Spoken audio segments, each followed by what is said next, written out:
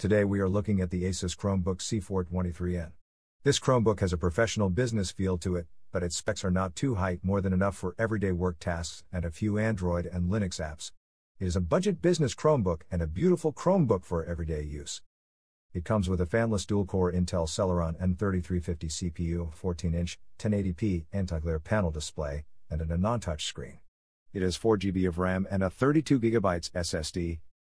It has Android apps, Google Play and Linux apps, Crostini, support and it will receive auto updates until June 2024. It weighs 2.7 pounds and its dimensions are 12.7 by 9 by 0.63 in inches. The battery has two cells and 10 hours of battery life. It has a full-sized HD webcam, four USB ports, two USB 3 ports and two USB-C ports with display and power delivery support, it has a micro SD slot and a combo headphone jack. Connectivity wise, it comes with a built in Wi Fi card and Bluetooth 4.0. Thank you for your time, and then there is a buy it now links in the description of this video.